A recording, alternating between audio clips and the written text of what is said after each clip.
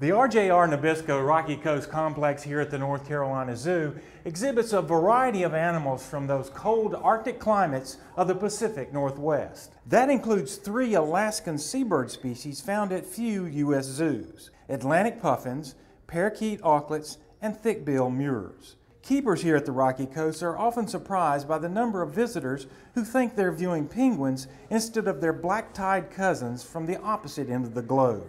Zookeeper Nicole Peepo breaks down the differences.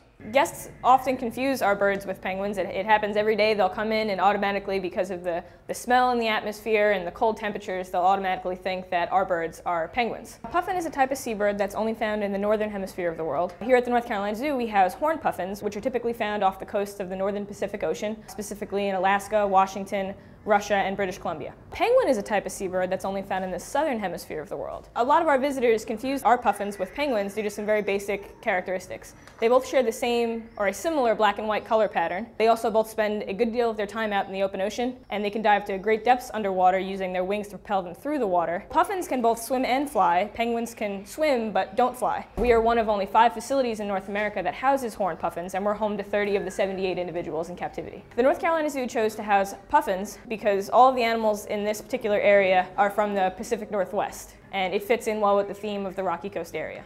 The puffin versus penguin identity battle will no doubt continue here at the zoo's Alaskan Seabird exhibit for years to come. But if you'd like to learn more, you can check out our website at nczoo.org. Reporting for the Zoo Files, I'm Rod Hackney, connecting your life to wildlife.